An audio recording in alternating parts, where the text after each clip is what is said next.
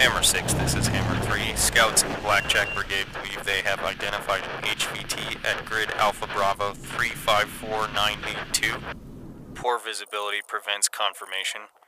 Request approval to reorient collection assets to positively identify the target. Hammer 3, this is Hammer 6. Roger, approved. Put strike assets on standby. Hammer 6, this is Hammer 3. Roger, moving TLS into position to provide PID on that HVT at Alpha Bravo 354982.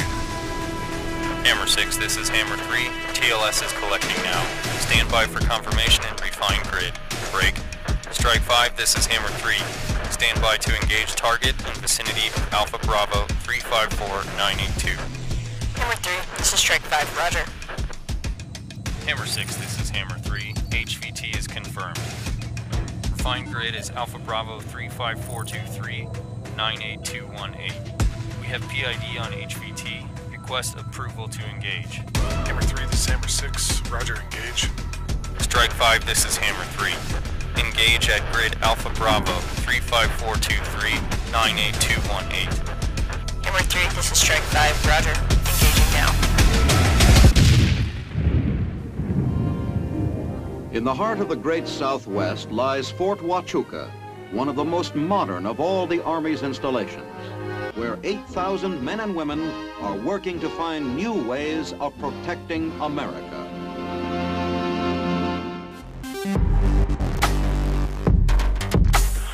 The U.S. Army came to the Huachuca Mountains in 1877.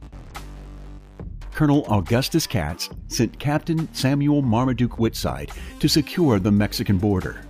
He established a camp benefiting from a fresh supply of spring water and geographical protections of the bowl-shaped San Pedro Valley below.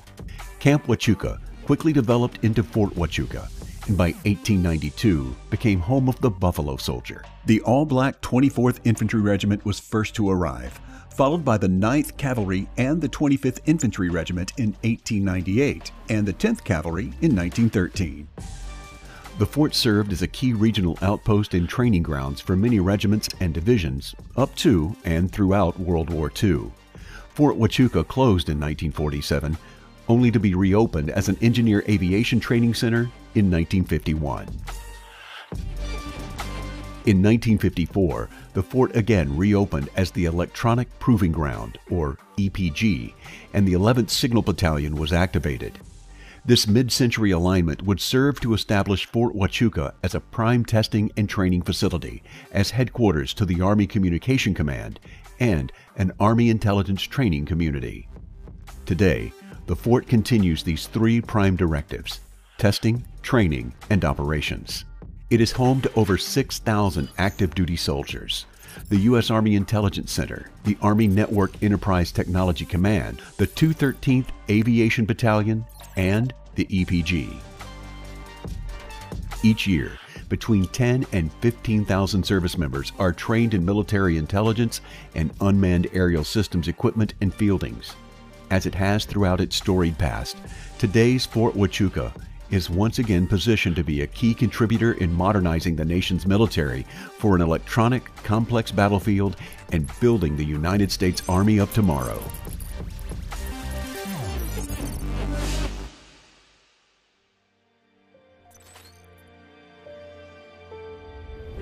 Our Army faces an inflection point that requires innovation, creativity, testing and evaluation, and training necessary to improve the application of combat power and hone our warfighting function and our capabilities. Our nation's adversaries have gained on the joint forces qualitative and quantitative advantages.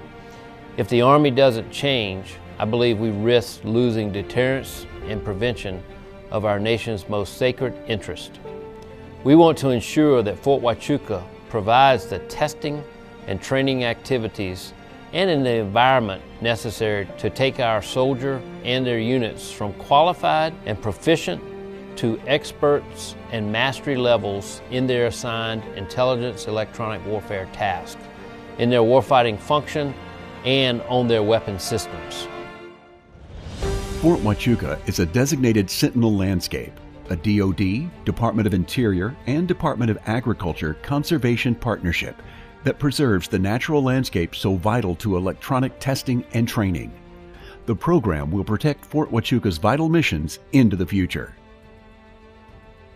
Working with our partners surrounding the base um, has, has ensured that we don't have encroachment issues uh, onto the fort reservation that would challenge our ability to conduct that important testing and training mission.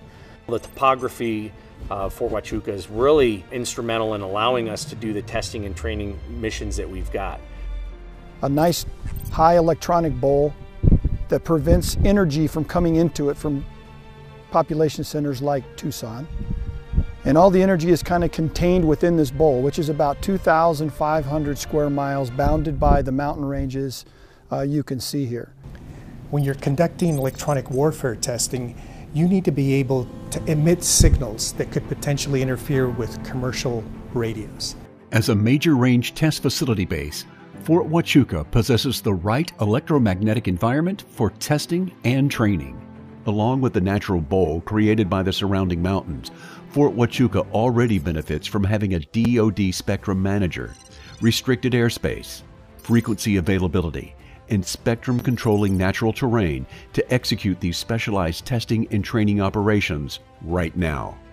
These attributes are why the test community arrived here in 1954 and why Fort Huachuca is postured to support a modernizing Army. That means that we can test long range sensing systems as well as place our threat emitters in the environment where they would be representative in terms of what we would expect to see from an enemy order of battle.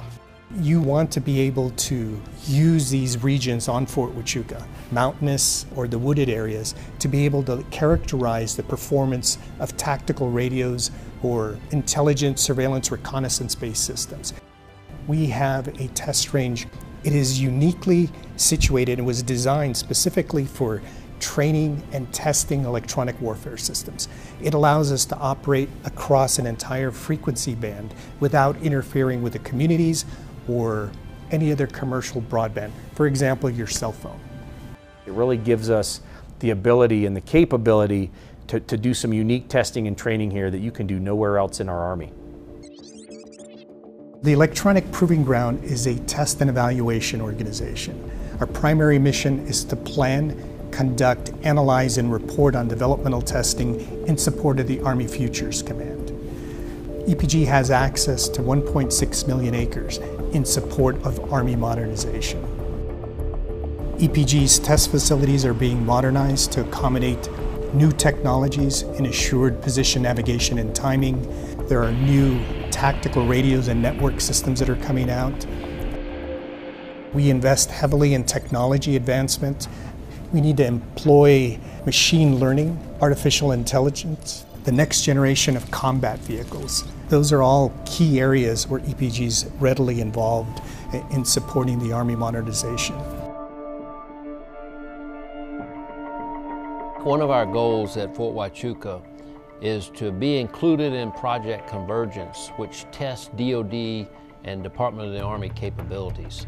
You know, when you link the National Training Center and Fort Huachuca with White Sands, with Yuma Proving Ground, you really have an opportunity to test across time and space all the different capabilities that one would need to train on uh, as we look at multi-domain operations. While the EPG focuses on developmental testing, the Intelligence Electronic Warfare Test Directorate, or IEWTD, oversees Army operational testing. IEWTD provides uh, the operational testing of all of our new intelligence, surveillance, reconnaissance, our electronic warfare, uh, biometrics, and all sorts of intelligence systems, those four main categories. And within electronic warfare, that also includes assured precision navigation and timing, those are the systems that help us uh, shoot, move, and communicate in GPS denied environments.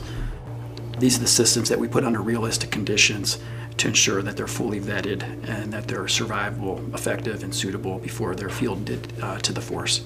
The information from these tests go to uh, not only Army senior leaders for their modernization decisions, but also to other services and joint partners for their decisions as well.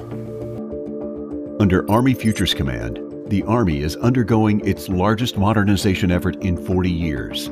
The conceptualization, development, and integration of this effort for military intelligence capabilities is orchestrated by ICDID, or the Intelligence Capabilities Development and Integration Directorate. Through organizational force structure, collection, and processing system solutions, ICDID is the architect of how Army intelligence is designed, structured, and equipped to fight and win in large scale ground combat. The mission of the 111th Military Intelligence Brigade is essentially to train the Army's intel professionals.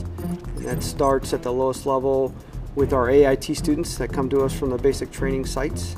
It includes our officers, and then it also includes our senior officers and NCOs. So those lieutenant colonels and colonels and their command sergeant majors who are getting ready and preparing to go take either a battalion or brigade command or division or corps G2 position. The mild climate of Fort Huachuca offers more than 320 flying days per year and provides a unique opportunity for manned and unmanned aircraft to operate in the same airspace at the same time. The 2nd Battalion, 13th Aviation Regiment is responsible for executing uh, 12 different programs of instruction. We have two unmanned aircraft systems airstrips, also a Class D airspace. And so really our mission is to provide world-class training and instruction for UAS operators, maintainers, and leaders to ensure that we're providing the fighting force with soldiers who are fit, trained, and disciplined and prepared to fight and win our nation's wars on any battlefield now and into the future. With a unique environment, capabilities, and authorities, Fort Huachuca has emerged as a critical cog in the wheel of Army modernization. Fort Huachuca is positioned to develop the Army's first non-kinetic, multi-domain operations capable range. By supporting integrated development and training across the operational force, our combat commanders and soldiers can trust the capabilities they need to prevail anytime and anywhere the nation calls.